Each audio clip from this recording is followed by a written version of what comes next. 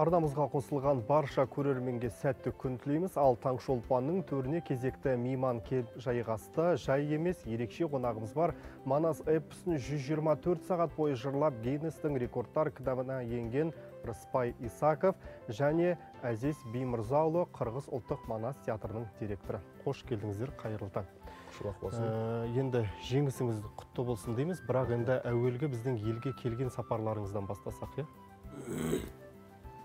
Өзүңүздөр билгендей бир төөнүн өркөчүндөй бири биринин эмчегиндей болгон куштун кош канатындай кыргыз казак ортосунда домуранын кош кылы сыяктуу кыргыздын комузундагы үч кыл сыяктуу кыргыз казак качан болбосун улуу тоодон жаңырса улуу талаадан жаңырып улуу таадан улуу талаадан кайрылса улуу тоодон жаңырган мына кайрыктарга үндөш жүргөн дүйнөдө бир эл бирок эки мамлекет болгон бактылуу калктын экөөсү бул кыргыз менен казак.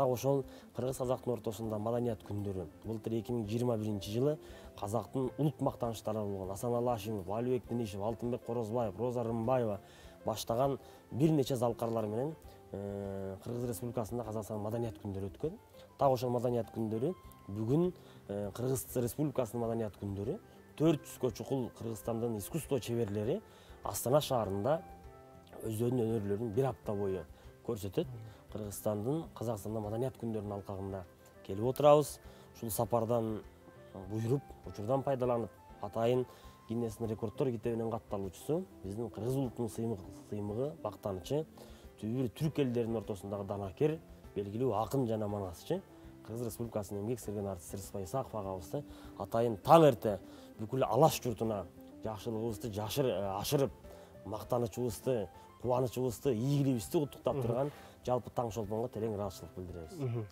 рахмет. Енді ырысбай ағамызды қырғыздың мақтанышы деп жатырмыз ғой. Енді осы манашның түркияның бурса қаласында өткен осы үзік видеосын көріп алсақ.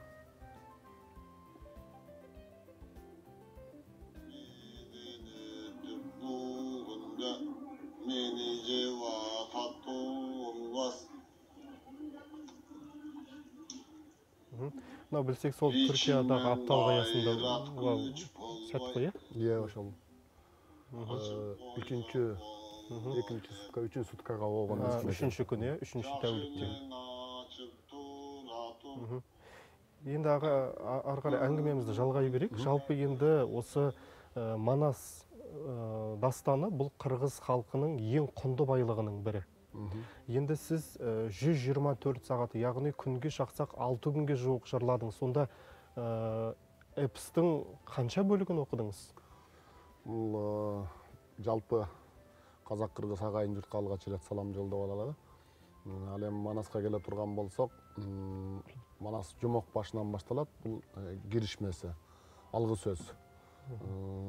Ошондон баштап манастын бабалары жагдайлы айтылат манастын бабаларынан кийин кытайлардын чапкыны андан соң элдин туш тарапка чачылганы душмандан басынганы анан манастын ата бабаларын алтайга көздөй айдалып барып ал жерде манастын туулгандыгы тууралуу баян болуп ушинтип окуя өзүнүн нугу менен уланып жүрүп отуруп чоң казат деген бөлүм бар. Бул жалпы түрк уулу биригип алып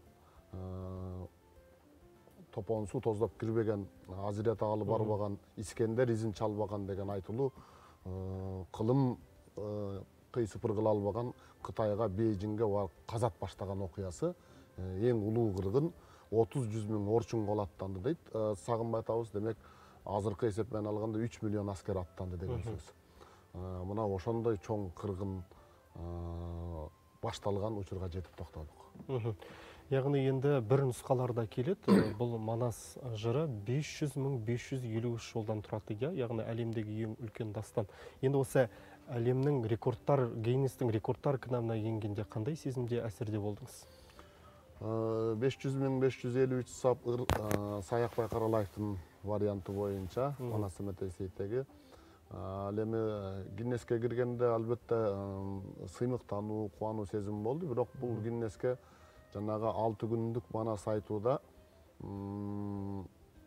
ашып эле кетсе бир сексен миң токсон миң сабы айтылды. Ошол беш жүз миңдин төрттөн бири айтылды десек болот да. Калганы бүкүл бойдон калды. Мгм. негізгі білсем ә, рекорд соңғы рет 2008 жылы 113 сағат болған иә? Иә. Енді араға біраз жылдар салып рекордты сіз ғана жаңғыртып отырсыз яғни 124 сағат. Енді осы ә, рекорд туралы тағы да айтып өтсеңіз. Бұл э, рекордтор китебин э, жаңыртуу 2008 жылы непалда катмандуда э, китап окуу менен э, бөлүк өзү э, токтолбой узакка окуу деген Мгм. Э, биз арыз менен кайрылганда манас айтуу бул окуу эмес башкача жагдайлы деген э, түшүндүрмөнү бергенге аракет кылдык. Бирок алар башка улуттун өкүлдөрү болгон манас эмне экендигин жакшы билбегендиктен алардын шартына макул болуп барып анан жүз отуз саатка чукул манас айттык. Анын кабыл алганы жүз жыйырма төрт саат болду. Ошол жүз жыйырма төрт саатты кабыл алгандан кийин комиссия түз тикелей эфирден анталиядан лондондон дубайдан карап отурду. Жана ал жерге келип дагы катышты. Ошол келип катышкан өкүлү гиннес рекордтор китебинин комиссия өкүлү э, көргөндөн кийин бул китап окуудан э, эрекше башка нерсе экендигин өздөрү моюндап макулдап муну манас айтууну башкача жагдайда карашыбыз керек экен. Бул жөн эле ок- окуп койгон жок. Биринчиден Э, кыраатын анын келтирип атат. Э, сөздү өзү ойлоп чыгарып атат импровизация. Э, эмо- эмоция болуп атат жашап атат тарыхты айтып берип атат төгүп атат мына ушулардын баардыгы жуурулушкан нерсе экен муну башка тартип менен манас айтты деп киргизебиз э, деп сертификатты ошондой кылып бере турган болдук кайрадан енді айтып отырсыз ғой алты күнге жуық уақыт өтті иә? Ас суыңызды қалай беріп отыр? Енді сіз ұйықтауыңыз керек деген сияқты Иә. қаншама күш қуатты сарп етесіз оңай емес. Э, бир мүнөткө бир саатка беш мүнөт тынууга болот. Аны калай пайдалансаң ал өз эркиң аны топтоп туруп жүз жыйырма төрт сагат айткандан кийин эки сагат эс алууга убакыт бар. Мгм. эгер андай топтой албай калсаң ал э, жөн эле өтүп кетет да.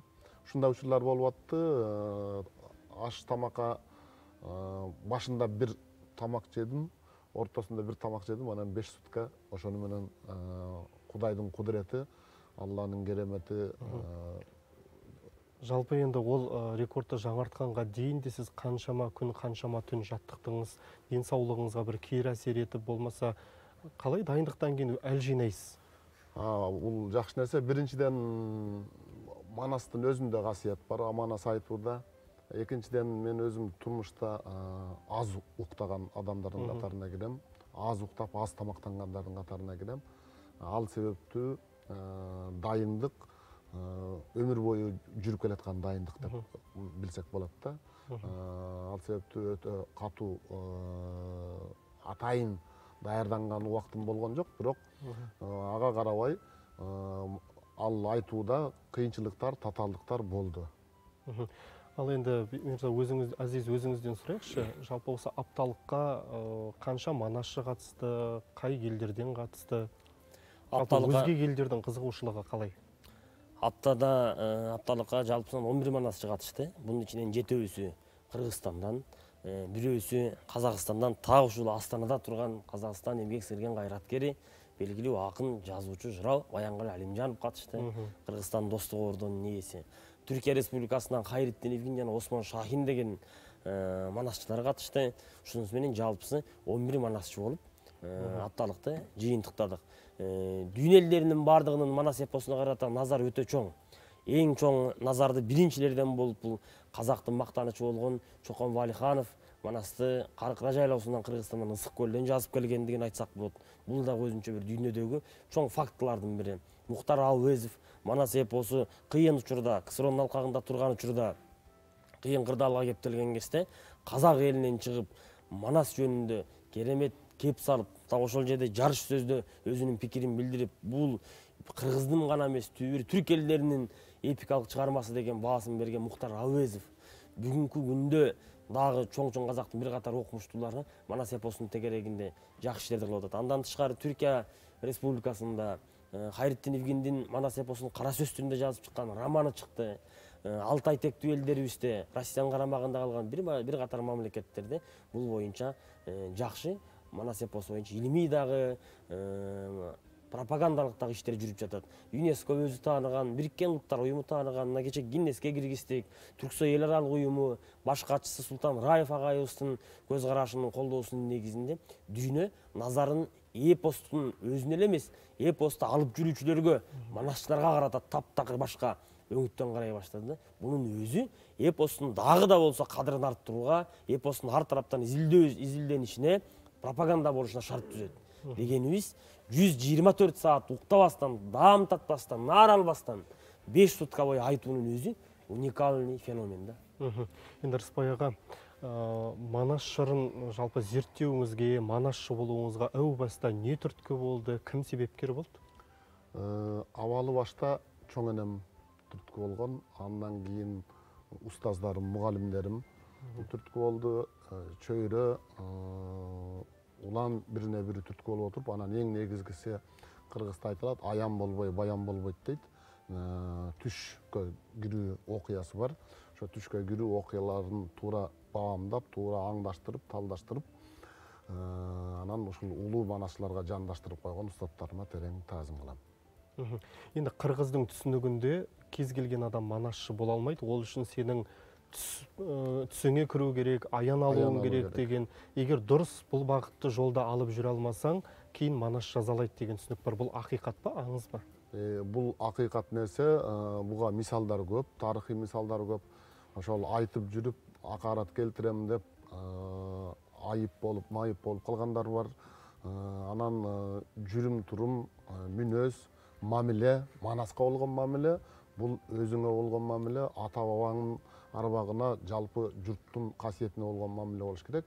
Ал нерсени аябай жоопкерчилик менен көтөрүш керек. Манас айтуу бул жалпы журт албетте сыйлай турган нерсе бирок манасчынын өзүнө улуу жүк ал ата бабалардын жүгүн артынып учурда көнөртпөй эскиртпей анан эртеңки урпакка жеткирип бере турган жүк. Бул нерсе оңой олтоң жүк эмес енді осы дастаннан сәл үзінді сұрасақ бола ма жарайт жарайт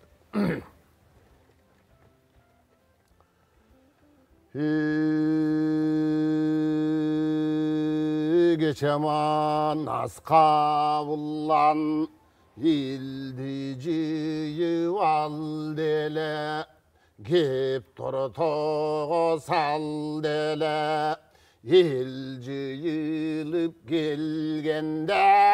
еренің төрін көргенде ошондо манас кабыллан орою куштуң абыдан жыйылган журтка деп айтат кебимди тыңда деп айтат тойгонго кылып канагат торпокто жанын багалат күйдөндө намыс болбосо көрүнгөн кет табалап кырданып жат бербестен кыйырың корго жериңдин кырандайган сабалап курсагың тойсо семирбей курманы болгон элиңдин ансыз деле жаның аманат дүйнө э туташ кандай киндигиң туташ болсо бирлигиң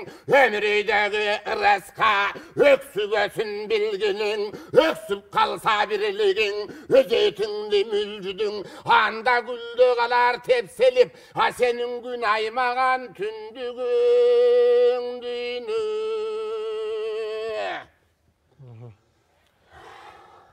рахмет аға оңай емес. Енді жалпы енді осы манасшы боламын дегендерге қандай талап қойылады және нендей қасиетке ие болу керек?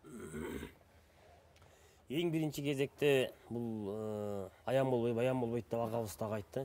Кудайдын өзүнөн бир керемет болбосо манасчы болуу мүмкүн эмес биз ар кыргыз же болбосо ар бир өнөрпоз мен манасчы болоюн деп ошол дүйнөнү тандабайт тетирисинче манас дүйнөсү ушунун көөдөнүндө куту көкүрөгүндө сөзү ыры бар экен көмөкөйүндө деп ошол дүйнө тандайт анан ошол дүйнө тандагандан кийин өмүрдүн тагдырдын убакыттын мерчемдеринен мезгилдеринен сыноолордон өткөндөн кийин бир канча кайыптаруу процесси деген бар бизде ошол процесстердин баарынан өткөндөн кийин анан манасчы болуп чыга келет ал эми ошол түш киргенге чейин мунун түмөндөгөн түйшүгү сапырылган санаасы манас эпосунун ичиндеги окуялар уйкаштык жана башка бир катар искусствого тиешелүү баардык тараптан өтөт анан эң негизгиси бул манасчылыкта устат шакирт мектептен өтүш керек ошол устат шакирттик мектептен өткөндөн кийин устат анан жол көрсөтөт олай болса таңнан студиямызға келіп өздеріңіздің жетістіктеріңізбен бөлісіп және манас жырынан